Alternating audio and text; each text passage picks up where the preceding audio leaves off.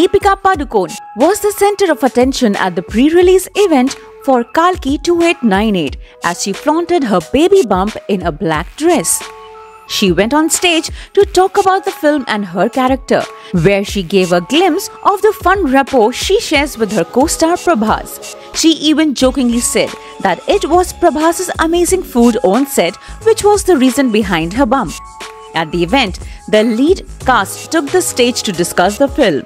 After Amitabh Bachchan, Deepika pulled Prabhas's leg and joked that he was the reason for the way her pregnant belly looks. She said, I'm actually like this because of all the food Prabhas fed me. Prabhas could not stop laughing at her comment. She then added, It got to the point where it was a full catering service, not just food from home. He feeds from the heart. Deepika and her husband Ranveer announced that they were expecting their first child on February 29. However, fans assumed that Deepika might be faking her pregnancy. A user wrote, if she really want to do surrogacy, it's fine now. Why need to show fake baby bump?